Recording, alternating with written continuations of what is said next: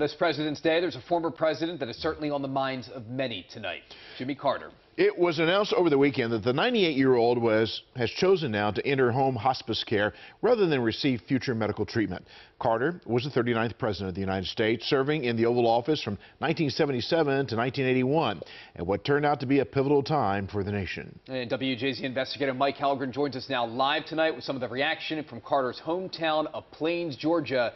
Mike, what are you hearing tonight?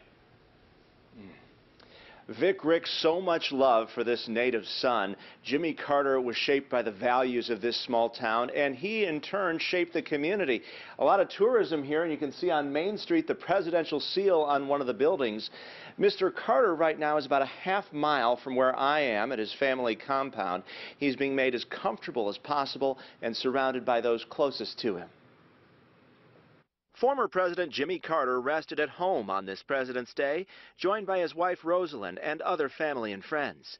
CBS News spoke to Carter's personal pastor, Tony Lowden, shortly after he visited with the 98-year-old. He's convinced that he's going to a better place. Lowden spoke at the Baptist Church in Plains, Georgia, where Carter once taught Sunday school. I am so blessed to be in JC's life. So blessed to be around true grace. Carter's name and image are just about everywhere here in his hometown, where he's lived for more than four decades since leaving office. Family and friends are now reflecting on his contributions to the world. All the people that love him and respect him and come here, it's just time for us to step up, you know, and, and carry on that legacy. Those who never met Carter are also paying their respects with a visit to Plains. I hope um, it's a peaceful journey for him and his family. Is you know we we um, wish them well. Others stopped by the Carter Center in Atlanta this President's Day weekend.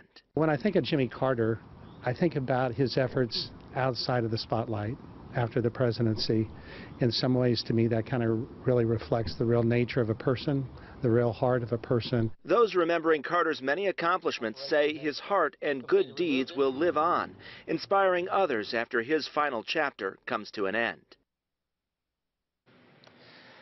And Carter's niece told me today that her uncle was a force for good in this world, and she says we need that now more than ever. Reporting live in Plains, Georgia, Mike Hellgren, WJZ. Mike, great coverage today. Thank you.